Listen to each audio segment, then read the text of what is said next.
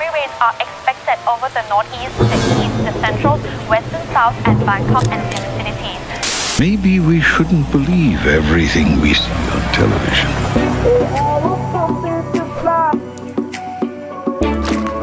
Oh, I want something just like, like this.